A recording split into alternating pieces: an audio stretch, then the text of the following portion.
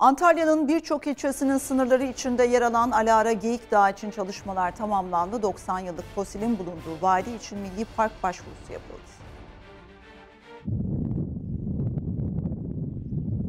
...90 yıllık fosil bulundu. Hemen harekete geçildi, dilekçe yazıldı. Milli park olmak için başvuru yapıldı. Alara Geyik Dağı, Antalya'nın dört farklı ilçesi içerisinde yer alıyor.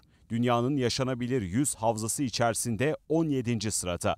Vadi 3000'e yakın canlı barındırıyor. Hatta 90 milyon yıllık fosiller bulundu. Çok zengin bir bölge. Giyi Dağı dediğimiz dağın tepesinde 2877 metre yükseklikteki 90 milyon yıllık e, fosillerin e, canlıların yaşamış olduğu fosillerin bulunmuş olması. Milli Park Koordinasyon Kurulu harekete geçti.